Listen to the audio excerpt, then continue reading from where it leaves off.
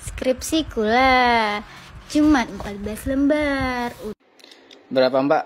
14 halaman ya. Oke, kita cek punya saya. Oke. Nih, punya saya dulu. Kita cek. Ini halaman terakhirnya. Nih, halaman terakhirnya 10 halaman doang. Kalau kita lihat daftar isinya, nih daftar isinya dari halaman utama pengesahan sampai daftar pustaka. Cuman segini doang